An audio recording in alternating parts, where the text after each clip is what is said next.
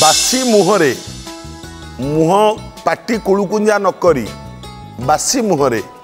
ଗୋଟିଏ ଗ୍ଲାସ୍ ପାଣି ନିଜ ଇଷ୍ଟଙ୍କୁ ସ୍ମରଣ କରି ସକାଳୁ ଯଦି ପିଅନ୍ତି